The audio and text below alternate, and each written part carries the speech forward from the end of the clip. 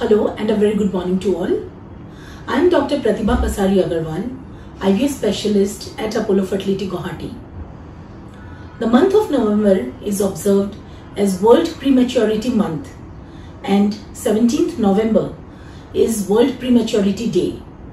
This is observed to create awareness of prematurity amongst the family because a premature uh, infant has lot of complications in his life.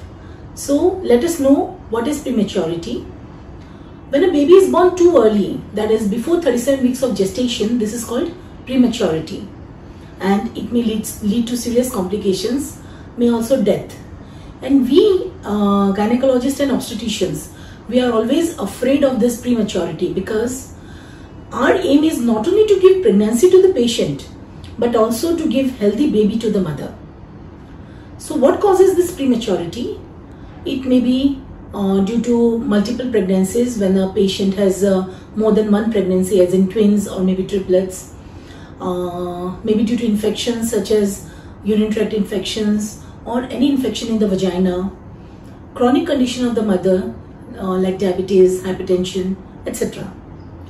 So when a preterm baby is born, it may have uh, long-term complications such as cerebral palsy, mental retardation, visual and hearing impairment. It may also have uh, um, delayed milestones and uh, may have low IQ. But this is uh, important for babies which are born very prematurely, like uh, less than 33 weeks of gestation.